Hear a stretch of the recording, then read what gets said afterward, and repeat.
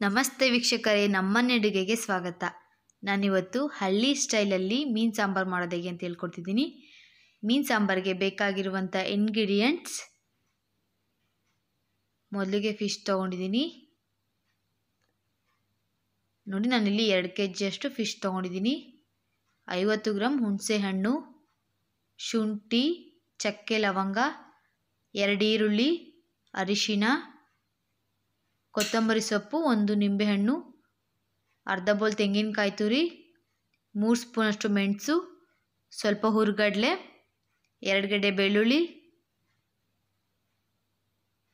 ಸ್ವಲ್ಪ ಉಪ್ಪು, ಐದು ಟೊಮ್ಯಾಟೊ, ಐದು ಸ್ಪೂನ್ ಅಚ್ಕಾರದ ಪುಡಿ, ಐದು ಸ್ಪೂನ್ ಧನಿಯಾ ಪುಡಿ. ನೋಡಿದ್ರಲ್ಲ ಫ್ರೆಂಡ್ಸ್, ಏನೇನು ಬೇಕು ಅಂತ ಬನ್ನಿ ಮಾಡೋ ವಿಧಾನ. ನೋಡಿ, ಮೊದಲಿಗೆ ನಾನು ಫಿಶ್ನ ತೊಳೆದಿಟ್ಕೊಂಡಿದ್ದೆ. ನೋಡಿ, ನಾನು ಫಿಶ್ ಮೇಲೆ ಹುಣಸೆಹಣ್ಣು ರಸ ಹಾಕೊಳ್ಳೋದ್ರಿಂದ ಫಿಶ್ಶು ಗಟ್ಟಿ ಆಗುತ್ತೆ ಮತ್ತು ಫಿಶ್ನ ನಾವು ಸಾಂಬಾರಿಗೆ ಹಾಕಿದಾಗ ಸಾಂಬಾರು ಒಳಗಡೆ ಅದು ಕಲಿಸ್ಕೊಳ್ಳಲ್ಲ. ನೋಡಿ, ಇವಾಗ ನಾನು ನಿಂಬೆಹಣ್ಣು ರಸ ಹಿಂಡ್ತಿದ್ದೀನಿ. ನಿಂಬೆಹಣ್ಣು ರಸ ಹಿಂಡೋದ್ರಿಂದ ಫಿಶ್ದು ಸ್ಮೆಲ್ ಇರೋದಿಲ್ಲ ಮತ್ತು ಟೇಸ್ಟ್ ತುಂಬಾ ಚೆನ್ನಾಗಿ ಬರುತ್ತೆ. ಮೊದಲಿಗೆ ನಾನೊಂದು ಜಾರಿಗೆ ಅರ್ಧ ಬರೋಷ್ಟು ತೆಂಗಿನಕಾಯಿ ತುರಿ, ಮೂರು ಸ್ಪೂನ್ ಮೆಣಸು, ಸ್ವಲ್ಪ ಹುರುಗಡ್ಲೆ ಎರಡು ಗಡ್ಡೆಯಷ್ಟು ಬೆಳ್ಳುಳ್ಳಿ. ಶುಂಠಿ ಒಂದು ನಿಂಬೆಹಣ್ಣು ಗಾತ್ರಷ್ಟು ತೊಗೊಂಡಿದ್ದೀನಿ ಒಂದು ಮೂರು ಲವಂಗ, ಒಂದು ಸ್ವಲ್ಪ ಚಕ್ಕೆ. ನೋಡಿ ಐದು ಟೊಮ್ಯಾಟೊ ತೊಗೊಂಡಿದ್ದೀನಿ ಎರಡು ಪೀಸ್ ಮಾಡಿ ಇಟ್ಕೊಂಡಿದ್ದೀನಿ ಅದು ಹಾಕೋ ಕೂಡ ಹಾಕೋತಿದ್ದೀನಿ ಇವಾಗ ನಾನು ಐದು ಸ್ಪೂನಷ್ಟು ಅಚ್ಕಾರದ ಪುಡಿ ಹಾಕೋತಿದ್ದೀನಿ ಐದು ಸ್ಪೂನ್ ಧನಿಯಾ ಪುಡಿ.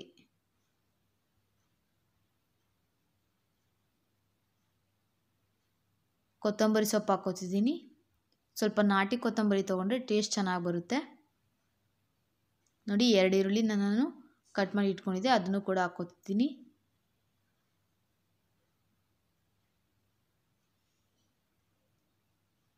ಲಾಸ್ಟಿಗೆ ಸ್ವಲ್ಪ ಅರಿಶಿನ ಹಾಕೋತಿದ್ದೀನಿ ಇಷ್ಟು ನೀಟಾಗಿ ಗ್ರೈಂಡ್ ಮಾಡ್ಕೊಳ್ಳೋಣ. ಸ್ವಲ್ಪ ನುಣ್ಣಗೆ ರುಬ್ಕೋಬೇಕು.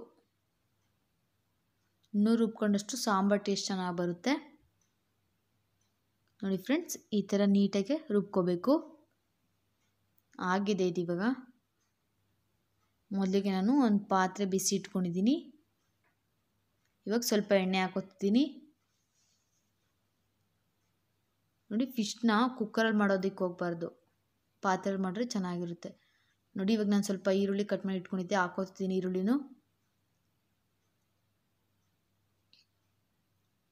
ಈರುಳ್ಳಿನ ನೀಟಾಗಿ ಫ್ರೈ ಮಾಡ್ಕೊಳ್ಳೋಣ. ಅದ್ರ ಹಸಿ ವಾಸನೆ ಹೋಗಬೇಕು.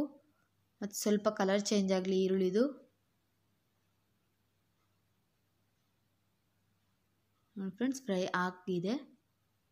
ಇವಾಗ ನಾನು ರುಬ್ಬಿಟ್ಕೊಂಡಿರುವಂಥ ಮಸಾಲ ಹಾಕೋತಿದ್ದೀನಿ. ಮಸಾಲನ ಸ್ವಲ್ಪ ನೀಟಾಗಿ ಹಸಿ ವಾಸನೆ ಹೋಗೋ ತನಕ ನೀಟಾಗಿ ಫ್ರೈ ಮಾಡ್ಕೊಳ್ಳೋಣ. ಮಸಾಲದ ಹಸಿ ವಾಸನೆ ಹೋದರೆ ಸಾಂಬಾರು ಟೇಸ್ಟ್ ಚೆನ್ನಾಗಿ ಬರುತ್ತೆ.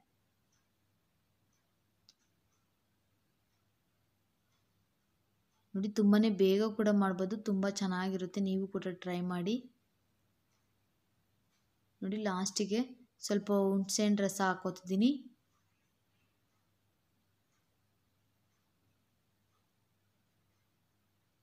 ಸ್ವಲ್ಪ ಕುದಿಯೋದಕ್ಕೆ ಬಿಡ್ತೀನಿ ನಾನು, ಒಂದು ಐದು ನಿಮಿಷ. ಕುದ್ದಾದ್ಮೇಲೆ ಇವಾಗ ಸ್ವಲ್ಪ ನೀರು ಹಾಕೋತಿದ್ದೀನಿ. ನೀರನ್ನ ನೋಡ್ಕೊಂಡು ಹಾಕ್ಕೊಳ್ಳಿ ನಿಮಗೆ ಸಾಂಬಾರು ತೆಳ್ಳಗೆ ಬೇಕು ಅಂದರೆ ಜಾಸ್ತಿ ನೀರು ಹಾಕ್ಕೊಳ್ಳಿ ಗಟ್ಟಿಗೆ ಬೇಕು ಅಂದರೆ ಸ್ವಲ್ಪ ನೀರು ಹಾಕ್ಕೊಳ್ಳಿ ಇವಾಗ ಉಪ್ಪು ಹಾಕೋತಿದ್ದೀನಿ. ಉಪ್ಪು ರುಚಿಗೆ ತಕ್ಕಷ್ಟು ಹಾಕ್ಕೊಳ್ಳಿ ನೀವು ನೋಡ್ಕೊಂಡು ಹಾಕ್ಕೊಳ್ಳಿ ಎಷ್ಟು ಬೇಕಷ್ಟು. ನೋಡಿ ಸ್ವಲ್ಪ ಮಸಾಲೆ ಎಲ್ಲ ಚೆನ್ನಾಗಿ ಕುದಿಬೇಕು. ಒಂದು ಸ್ವಲ್ಪ ಒಂದು ಐದನೈದು ನಿಮಿಷನಾದ್ರೂ ನೀಟಾಗಿ ಕುದಿಬೇಕು ಮಸಾಲ. ನೋಡಿ, ನೀಟಾಗಿ ಆಗಿದೆ ಇವಾಗ.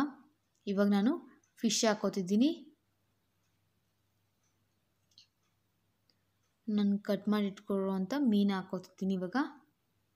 ನೋಡಿ, ಸಾಂಬಾರೆಲ್ಲ ಚೆನ್ನಾಗಿ ಕುದ್ಮೇಲೆ ಮೀನು ಹಾಕ್ಕೋಬೇಕು. ಮೊದಲೇ ಹಾಕ್ಕೊಂಡ್ರೆ ಮೀನೆಲ್ಲ ಕಲಸೋಗ್ಬಿಡುತ್ತೆ ಸಾಂಬಾರು ಒಳಗಡೆ.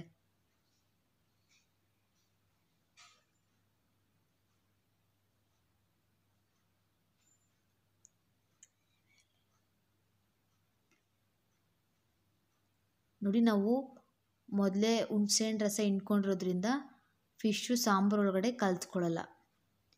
ನೋಡಿ ಒಂದು ಕುದಿ ಬೇಯಿಸಿದ್ರೆ ಸಾಕು. ಫಿಶ್ ಎಲ್ಲ ನೀಟಾಗಿ ಬೆಂದಿರುತ್ತೆ ಮತ್ತು ಜಾಸ್ತಿ ಸ್ಪೂನ್ ಹಾಕೋಕ್ಕೆ ಹೋಗ್ಬೇಡಿ, ಮಿಕ್ಸ್ ಆಗಿಬಿಡುತ್ತೆ. ನೋಡಿ ಫ್ರೆಂಡ್ಸ್, ಎಷ್ಟು ಚೆನ್ನಾಗಿ ಬೆಂದಿದೆ. ನೋಡಿ ಇವಾಗ ಆಗಿದೆ. ನಾನು ಇವಾಗ ಇದನ್ನು ಒಂದು ಪ್ಲೇಟ್ಗೆ ಸರ್ವ್ ಮಾಡ್ಕೋತೀನಿ.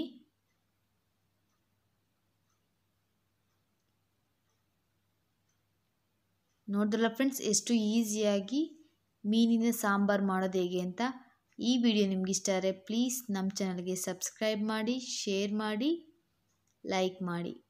Thank you.